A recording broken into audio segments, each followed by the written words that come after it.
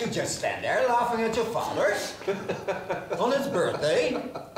Who do you think you are, huh? Je hoort het goed. In dit Eindhovense toneelstuk wordt Engels gesproken. En niet zonder reden, want hier spelen niet alleen autochtone Eindhovenaren mee, maar ook internationals. We have uh, 10 different nationalities, so we have a crew of 18 people. But uh, I'm from India, uh, but Dutch people, Italian people, uh, more Indians, people from all Greek people. So really nice. You can really learn from each other how to work well. Dus het is echt een hele diverse groep.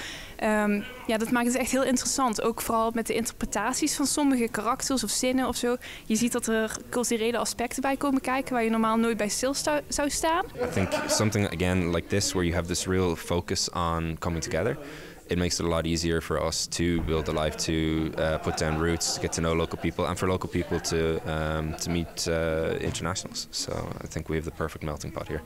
We talk about the similarities and the differences, but just person to person, um, yeah, you don't feel it so much. You're just friends. In Eindhoven wonen duizenden expats, maar voor deze internationale medewerkers was er nog geen theatergroep of school in de stad. En dus kwam dit initiatief tot stand. Jesus, Christian, you look so good. I could climb on you now. Oh,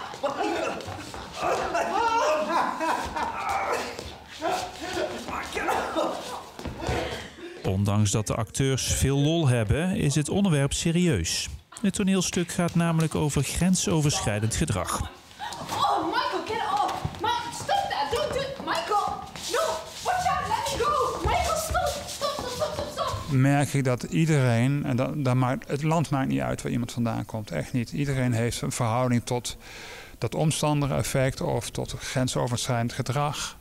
Discriminatie zit er ook in. Toen ik nog ehm, bij Philips werkte, eh, dat ik een keer, ik was in de keuken gewoon mijn, mijn koffiemok aan het afwassen. En toen kwam er een collega echt helemaal tegen me aanstaan. En die zei echt zo, oeh, met jou wil ik wel eens de afwas doen. En ik dacht echt, oeh. Heb ik wel eh, meegemaakt dat ik eh, dat omstandig effect, dat ik met Mitelle om van een concert van de dijk kwam en mijn fiets uit de struiken haalde en een paar mannen vonden dat ik hun in de weg stond en mij begon te duwen en te trekken en ik nog zeg van alsjeblieft niet doen, niet doen, niet doen.